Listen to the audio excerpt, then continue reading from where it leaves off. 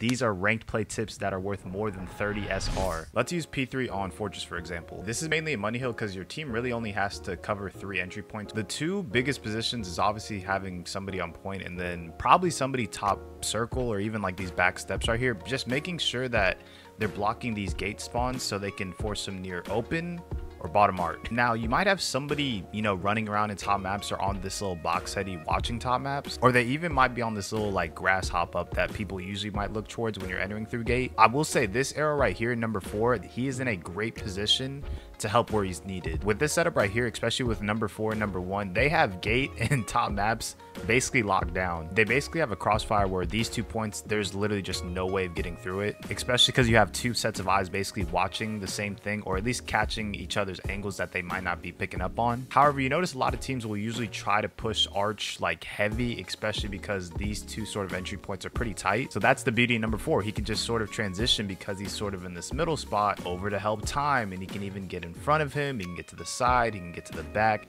He's more so able to support him because he's in the middle of everything. He can sort of move around where he needs to go. And even though the setup is a little passive, everybody's in a great spot to play for trades. Somebody could push out top maps, kill number one, four is there for the trade, or even vice versa. He goes and chows number four, number one's there for the trade. You could have number three on boxes and four helping out time. If four or two died, then three can just turn around and help from towards the front. That's why it's super important just to kind of get a gist of where you're looking and versus where your other teammates are looking, especially on these hills, because you're easily going to get a lot of time if you need to just check three points. Let me know if you knew this before because